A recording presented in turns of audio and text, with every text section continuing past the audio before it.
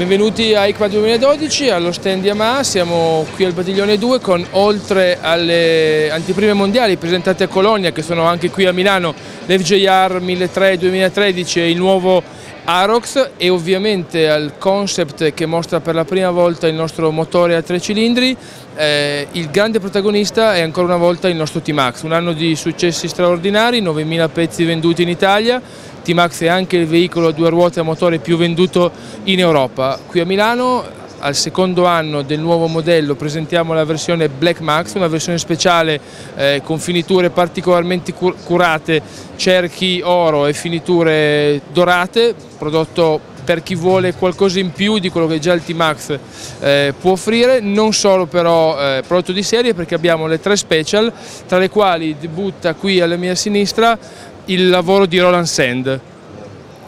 Roland Sand ha avuto il coraggio, la capacità e il genio di far capire qual è veramente l'anima del T-Max. Spogliandolo completamente delle infrastrutture è diventato il primo scooter naked del mercato. Eh, oggi è un concept, una provocazione, ma stiamo avendo un tale successo eh, dal pubblico che lo sta vedendo che insomma vediamo cosa, cosa potremo farne. Qui con me c'è quello invece preparato da Lazareth, il customizer francese con il compressore volumetrico proprio qui sotto che gli permette di superare i 200 km orari